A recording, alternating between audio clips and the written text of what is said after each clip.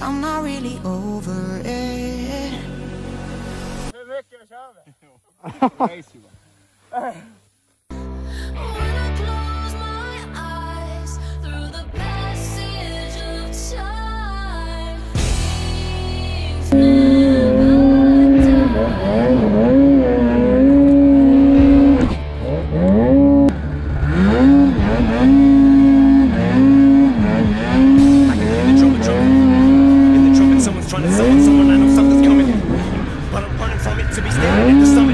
summit. Drumming, I can't was it what I thought it was. Was it too good to be true?